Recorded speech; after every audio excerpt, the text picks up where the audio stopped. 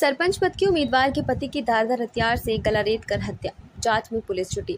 अलीराजपुर के सोरवा पुलिस थाना क्षेत्र के कुकरवाड़ में बीती रात को पूर्व सरपंच की हत्या, गला रेत कर देर रात हत्या घर की छत पर सो रहा था। घटना की जानकारी मिलते ही पुलिस मौके पर पहुँची और ज़िले के सोरवा पुलिस थाना क्षेत्र के ग्राम कुकाबाटा में बीती मध्य रात्रि को अज्ञात हत्यारों के द्वारा ग्राम के पूर्व सरपंच की हत्या गलारेत कर कर दी गई। मृतक राजू सिंह, पिता जोगड़ा, स्वयं के घर की छत पर सो रहा था। हत्या का कारण अभी अज्ञात है और सरपंच पद की भाजपा समर्थित उम्मीदवार का पति है।